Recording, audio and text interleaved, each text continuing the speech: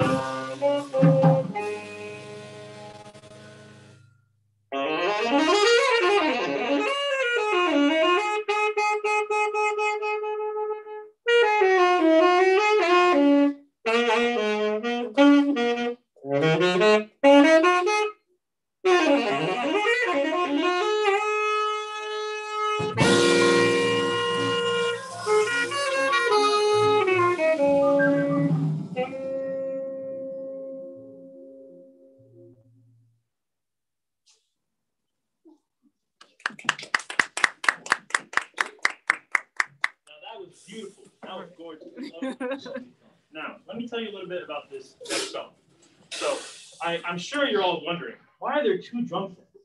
Well, I'm going to tell you, we got this one drum set for this last song because it's such a good song. And this song was requested by our young trumpet player, Frank Sanders. And he said, hey guys, let's play this song. And we were like, bro, that song is hard. we are like, that thing is hard. That's like a whole, that's a big song. And he's like, no, no, it's cool. The first day that, oh man, the best song we got. It was the best thing. Sounds so good. So now we pulled it together. You know, we got our rhythm section. We got Matt playing out the electric. He's gonna continue some cool lines. We got, some, we got John drums. It's gonna be a great show. Thank you guys for coming out. Thank you guys for listening, watching, all that good stuff. Make sure you keep tuned in when this happens again, hopefully. And yeah, thank you. Thank you.